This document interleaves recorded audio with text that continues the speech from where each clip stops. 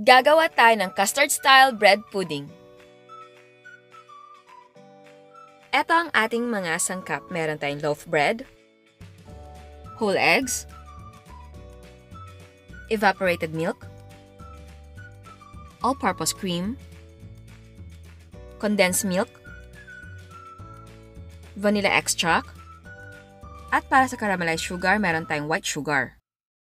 Ang unang gagawin natin, gagawa tayo ng caramelized sugar. I-melt natin ang white sugar sa ating pan. Ang size ng ating cake pan ay 9 inches by 2 inches.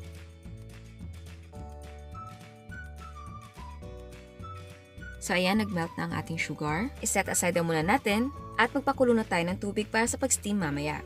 Ang ginawa ko, pinagpipira-piraso ko ang ating breads into small pieces. Ilipat natin sa malaking bowl, tapos lagyan natin ng evaporated milk.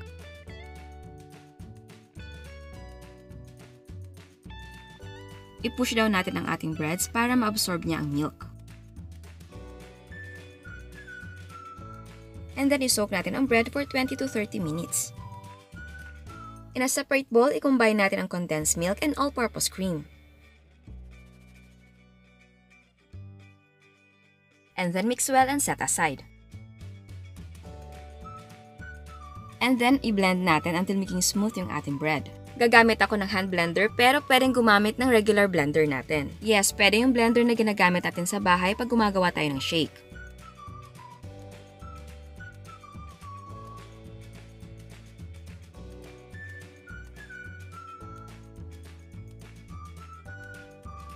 So ayan, smooth na siya. Let's add the vanilla extract, condensed milk cream mixture, and eggs.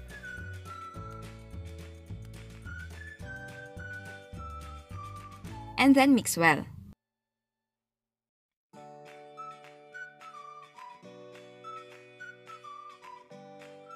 And then ilipat natin ang ating mixture sa ating cake pan na may caramelized sugar. Ngayon naman, steam na natin for 20 to 25 minutes over medium-low heat. And again, don't forget to wrap the lid with clean cloth para hindi matuluan ng tubig ang ating pudding. After 25 minutes, do the toothpick check and if it comes out clean, the pudding is cooked. Pero kung basa pa, extend the cooking time and check every 5 minutes. At palamigin na muna natin bago natin tanggalin sa pan. Kapag malamig na, mag-slide tayo ng knife or spatula sa gilid ng ating pudding.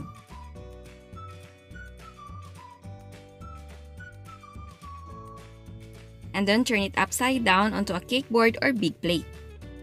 And gently remove the cake pan. At pwede tayo mag-slice.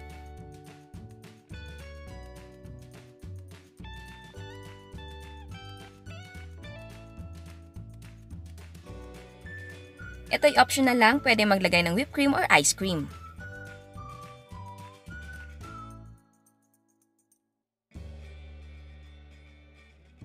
At eto na ang ating custard-style bread pudding.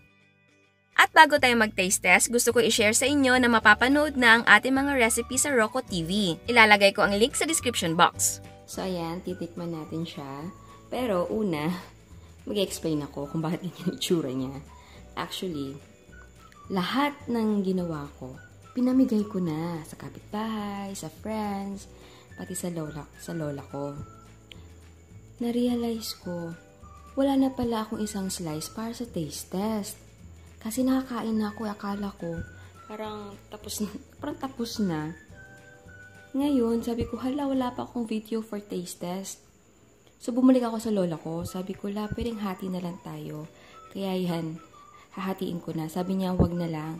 Kasi nakatikim na daw siya. Ito yung part na kinuha niya. Sabi niya, okay na daw sa kanya, nakatikim siya. Kasi nagko-control din siya sa sugar niya kasi mataas na rin. Sabi ko, ikaw, bahala ka. Sige, kunin ko na lang. So, ayan. Kaya meron akong reserve pa dito na ano, caramelized na sugar kasi nga for taste test. So, ngayon, lalagay na natin. so, ngayon, since natikman ko na siya, i-describe ko sa inyo ngayon kung ano yung lasa niya and sa texture niya. So, una, makikita nyo, para siyang leche flan, ba? Yung ano niya, yung dating niya. Pero teka, hatiin natin. So ayan. Oh, kita niyo na ba?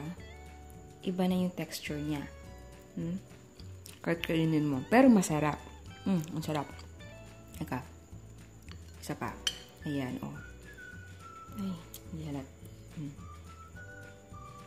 Ayan, parang meron siyang ayun, bread. Pero masarap siya. Hmm? Pero, for me, since ako mahilig talaga ako sa leche flan, talaga maho-compare ko. Hindi siya for me lasang leche flan. Pero, parang ano pala, combination. Yung leche flan and the bread pudding, parang ganun. Pero yung texture niya, hindi siya smooth. Ganon. Pero, masarap siya ha. Masarap siya.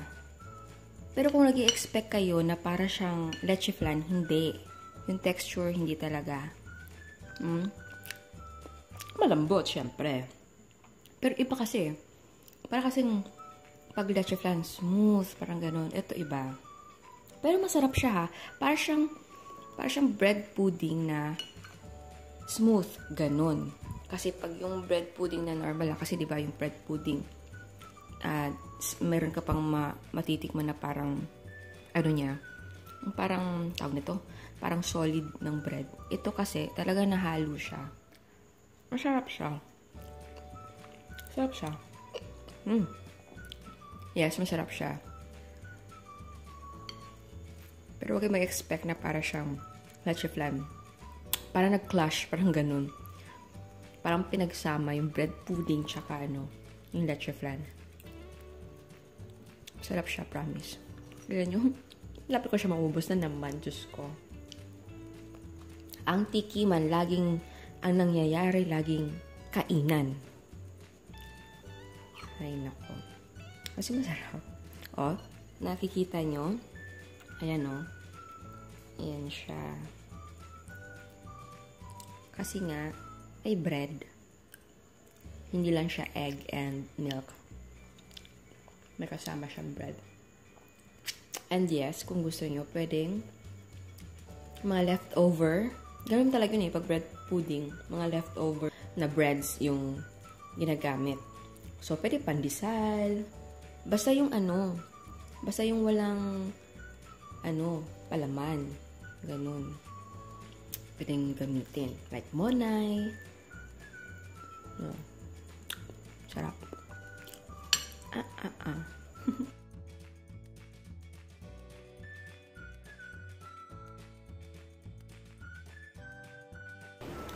Ayan, naubos. And bago makalimutan, masarap siyang kainin kapag malamig. Parang leche flan din, mas masarap siya kapag malamig. At eto ang mga prices ng ating mga sangkap. And yes, pwedeng gumamit ng ibang brands. Ang total cost ay 158 pesos and 65 cents. At bago ako magpaalam, meron tayong another dose of inspiration. Eto ang mga gawang cakes ni Miss Janet.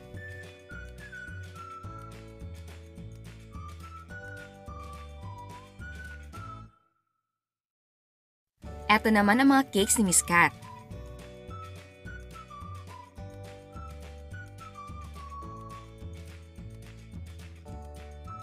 At meron siya mga cupcakes. At ready na for delivery. Eto naman ang mga brownies niya.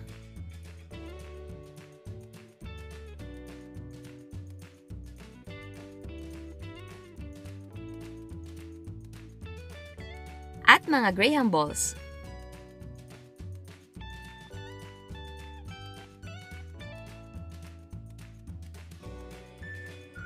Costarons. And churros with chocolate dip. Eto naman ang mga yama cakes ni Miss Maricar.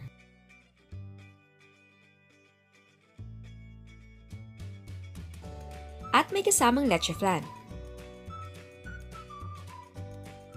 Eto naman ang blueberry cheesecake ni Miss Mayan.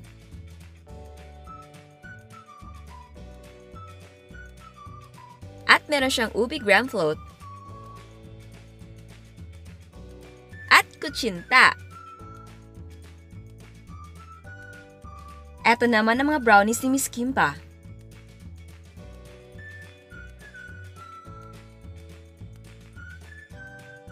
Chocolate cake. And yema cake. No bake lasagna. Mango graham float. Ito naman ang Oreo graham float ni Miss Nessa. Ito naman ang mango tapioca ni Miss Winnie. At meron din siyang buko pandan. Ito naman ang Oreo cheesecake ni Miss Zaira. Instead of blueberry ang flavor, ginawa niyang Oreo. And ang ganda ng packaging niya. Ito naman ang macaroni lasagna ni Mizaki. Instead of using lasagna pasta, ang gamit niya ay macaroni.